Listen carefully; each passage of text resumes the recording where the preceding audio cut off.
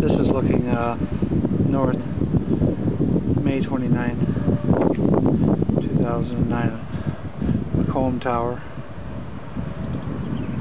There's Highway 60 down there, heading east toward Cabool. And there is east right there.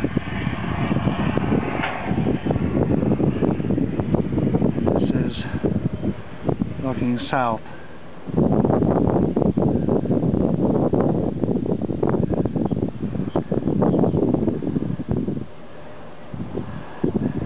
There's south, west,